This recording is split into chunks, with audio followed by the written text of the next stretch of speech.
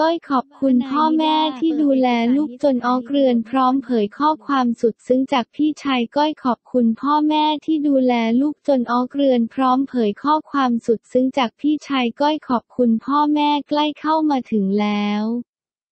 สำหรับงานวิวาห์ของก้อยรัชวินวงศ์วิริยะกับตูนอาทิวราห์คงมาลัยหรือตูนบอดี้สแลม ซึ่งมีกำหนดฤกษ์ดีเป็นวันเสาร์ที่ 28 พฤศจิกายน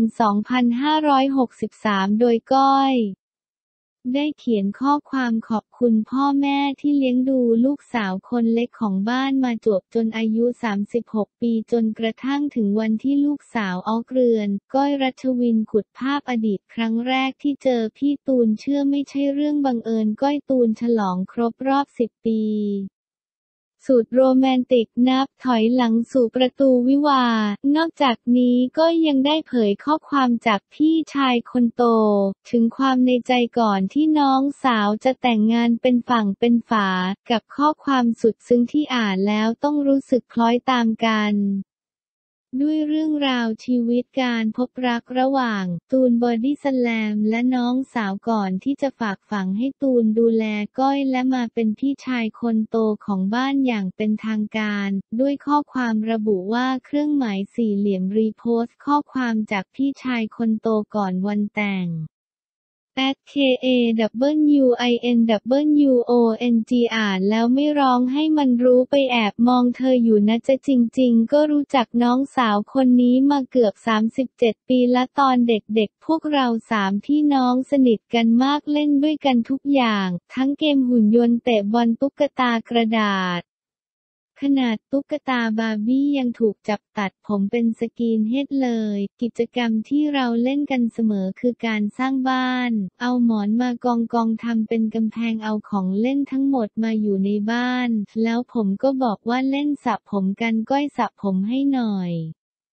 พอเราให้ก้อยซบไปสักพักก็รู้สึกถึงความเปียกใช่ครับมันคือน้ำลายของน้องสาวผมนี่เอง โตขึ้นมาหน่อยผมเข้ามหาลัยต้องอยู่หอเริ่มห่างจากน้องสาวคนนี้ และยิ่งห่างขึ้นไปอีกตอนไปเรียนต่อ สมัยก่อนไม่มีไลน์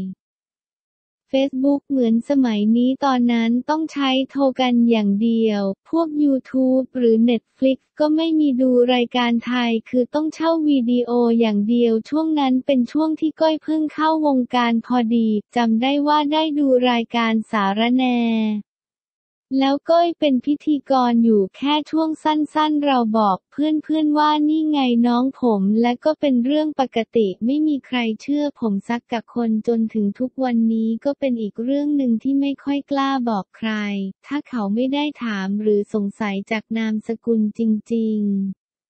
เพราะส่วนมากทุกคนจะพูดว่า จริง ๆ สิพี่แท้ๆหรือเปล่า 55 เรื่องความรักเราก็ไปรับน้องที่เรียนพิเศษมีหนุ่มเดินมาส่งด้วยความเป็นพี่ชายจำได้ว่าพูดอะไรสักอย่างที่ทำให้น้องไม่สบายใจ อารมณ์ว่าสนใจเรื่องเรียนก่อนเรื่องความรักไว้ที่หลังอะไรประมาณเนี่ยก็น้องสาวเราหน้าตาดีพี่ชายก็ห่วงเป็นธรรมดาสิเนื้อนี่ก็อาจจะเป็นสาเหตุหนึ่งที่ก้อยไม่ค่อยปรึกษาเรื่องหัวใจกับผมก็ได้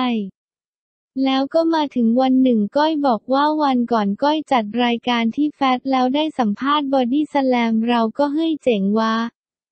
วงโปรดของเราด้วยสักพักก้อยก็บอกว่าพี่ตูนมาขอเบอร์ตอนนี้ก็คุยกับพี่เขาอยู่ส่วนตัวผมไม่ติดอะไรแอบเชียร์เสียด้วยซ้ำ ผมมันเด็กอินดี้ชอบฟังเพลงดูคอนเสิร์ตอยู่แล้ว เราก็บอกว่าของแบบนี้ต้องดูกันยาวกันยาว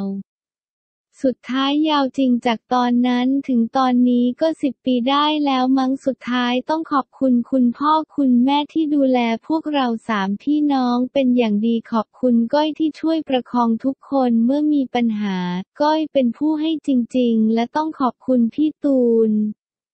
และครอบครัวคงมาลัยที่ดูแลน้องสาวผมเป็นอย่างดีครับ ผมฝากพี่ตูนดูแลน้องสาวที่รักของผมคนนี้ด้วย และขอต้อนรับพี่ตูนเข้ามาเป็นพี่ชายคนโตของครอบครัวพวกเราอย่างเป็นทางการนะครับ รักพี่ชายครับ at a r t i w a r a เครื่องหมายสี่เหลี่ยม together forever